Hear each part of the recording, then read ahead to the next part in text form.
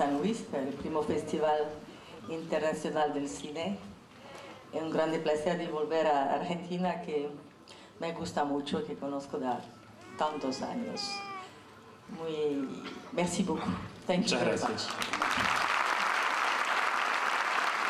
Ya la señora Esther Boris, la